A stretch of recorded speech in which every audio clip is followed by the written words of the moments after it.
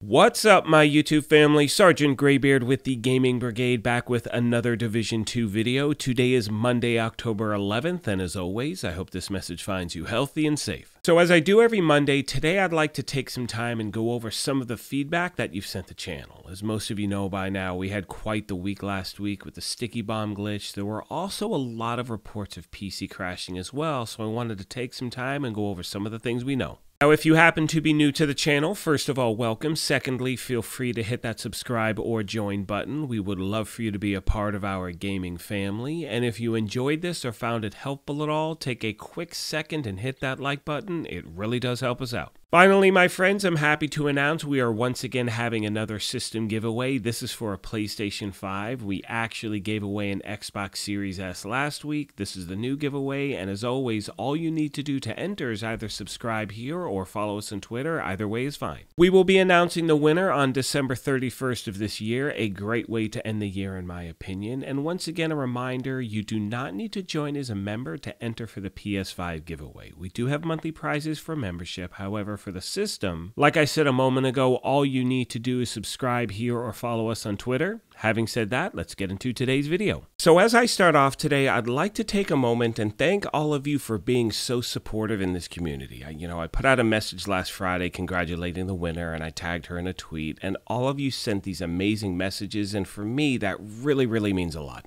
With all that being said, let's get to what's going on in the game right now. Now, a moment ago, you could see the Kestrel League is still going on. There's another week of that. And once again, a reminder for new and returning players if you have not completed something, don't worry. All of the projects will reset, but your progression will transfer from week one to week two. One thing we can look forward to this week is the fact that we are getting our next global event, which is Shade Exposed. Now, to be totally honest with you, I don't remember all of the details about this event. I know it's not my favorite one. However, during these events, as you've heard me say time and time again, it is a great opportunity to earn some really good gear in the game. Which leads me to a comment which a lot of people were making this week saying no matter how many named caches and legacy caches they opened, they didn't get any Dark Zone exclusive items. They were worried that wasn't the case. Could you actually get them in the caches? And the answer is yes. However, it's all RNG, so it's pure luck sometimes. And because of that question, I wanted to put my opening up some of these named and legacy caches on this morning's video to show you that yes, you can get those DZ exclusives. You'll see here in a moment, I was finally able to get the ferocious calm. And for me, this is something I've been looking for for probably six months now. And when I say looking for, I'm talking about, you know, on days where Fenris was the targeted loot in the DZ, just farming nonstop, you know, opening up countless named caches, legacy caches, never seeing it, and finally getting it now. So, again, my friends, while it is a grind, it is definitely worth it. And during these global events, it does give you that opportunity. Moving on, I'd like to address something that a lot of you have been asking over the last few weeks, and that has to do with the countdown timer in regards to when the season ends. And if, you know, do you think that means, people people asking me, excuse me, do you think that means that's when we're going to be receiving new content on the game? And the game has made it very clear that timer is just a timer. It doesn't mean anything specific. So again, we cannot read too much into it. Now, we know that if we go back towards the beginning of this year, the game said that Heartland should come out before this year ends and that we could expect some new content for The Division 2 at the beginning of next year. And this timer does kind of coincide with the new Division 2 content. However, as most of you know by now, I don't like to really talk about what ifs or speculation too often, as I don't want to pass along any misinformation. But with that being said, you know, I, I'm under the opinion that we will be getting Heartland before the end of the year, and hopefully this timer does indicate that we should get that new content by that time. Next, my friends, I'd like to talk about the sticky bomb glitch that was going on in the game last week. And unfortunately, once again, you know, that made playing in the dark zone completely impossible for so many people out there. Now, the good news is that, you know, I think it really came to the forefront last Monday, and by Thursday, thankfully, it was patched. However, with that being said, I am still getting reports of the invisibility glitch that is still happening in the dark zone in just new areas. So again, my friends, thankfully the sticky bomb thing has been fixed. There's still that invisible thing. So, you know, I mean, when you go into the DZ, you go in at your own risk. Again, that's another reason I like the global events. It gives you that chance to get certain things, you know, without having to go into the DZ. And I know for a lot of people, they really like that.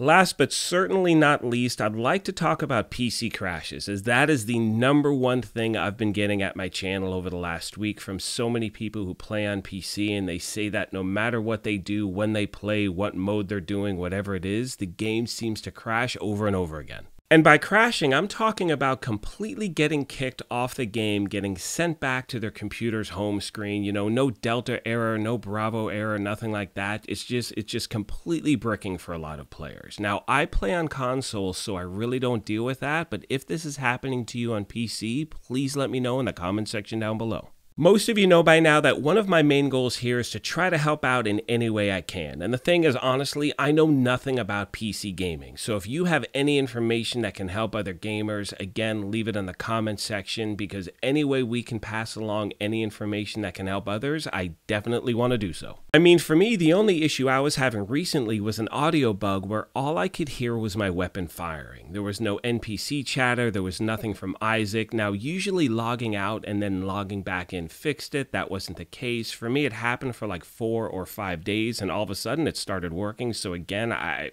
I couldn't pinpoint it, but again, it seems to be working fine now. With all that being said, my friends, I'm going to start to wrap this video up. As always, I want to thank you all for your continued support, especially during this time where there's nothing new to report on in the game. I love doing these weekly updates, talking about what's going on in the community, and as always, if there's anything that's happening in your game and I didn't mention it in the video, let me know what's going on in the comment section down below. At this point, I'm going to let the rest of the video play out. However, as I mentioned at the beginning of this thing, if you happen to be new here, feel free to hit that subscribe or join button. If you enjoyed this, do me a favor, hit that like button. It really does help out. But most importantly, take care of yourselves, be kind to each other, and we will talk to you soon. Thanks again, everyone.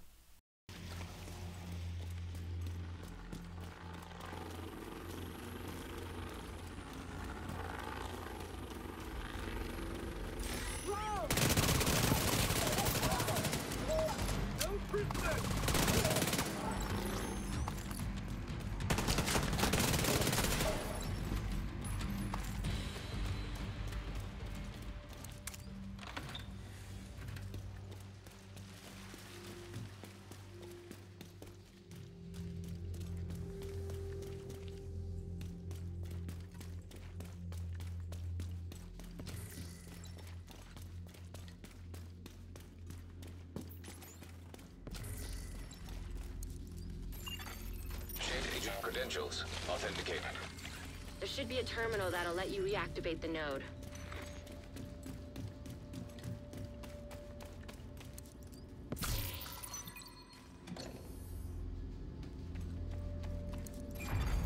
Authorization granted. Please stand by.